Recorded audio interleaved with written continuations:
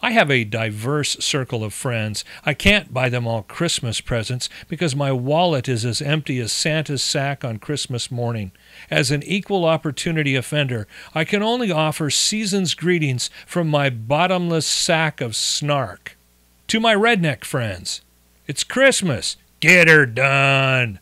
To my Republican friends, may you someday realize that George W. Bush was more of a white elephant gift than he was a present.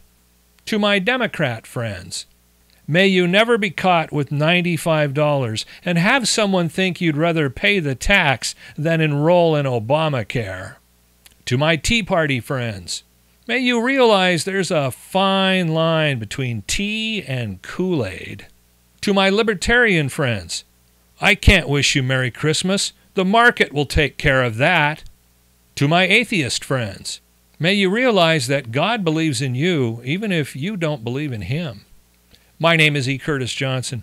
If I've left out a friend and the group they belong to, I simply wish you Merry Christmas.